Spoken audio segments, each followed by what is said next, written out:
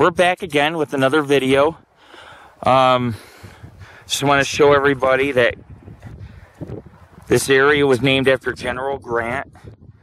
Um, the Alexander Company had built a 20 stamp mill, which is over to the left. In 1863, gold was discovered here.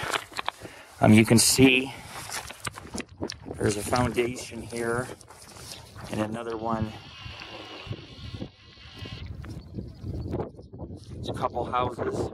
It had two general stores, a hardware and tin store, two assay offices, a bank, two drugstores, blacksmith, 12 saloons, a fine restaurant, three newspapers, two barbers, a livery stable, a brothel which burned down during the second boom in the 1900s.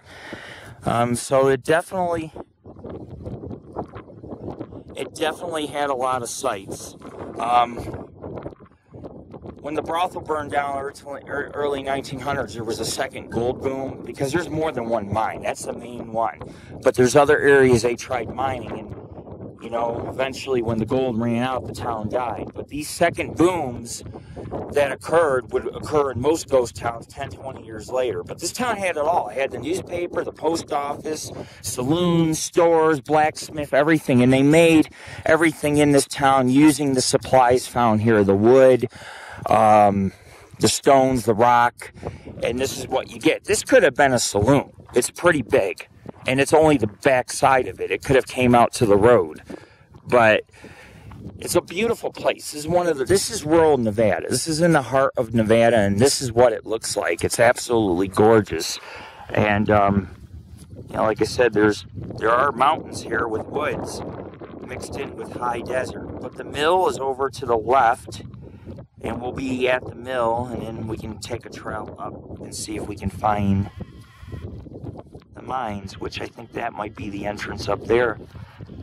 Anyways, come check us out, www.paranormalghostsociety.org. Um, we're in the town of Grantsville, like I said, named after General Grant. Uh, hardware store, assay offices, Wells Fargo Bank, general stores. It had about 800 people living here. And of course, that, that lost almost nearly its entire population once the mines ran out, everybody left. Um, you know, the, the, like they had these three newspapers, so the town had its own mining news and and different things. So it was a it was a big town. In in the fine restaurant, I don't know. That could be that Burke building. We don't know what these buildings are. We don't have anything to go off of. But anyways, Lord Rick We'll be back with more great footage and scenery. Um, I'll catch you in a few as we go downtown.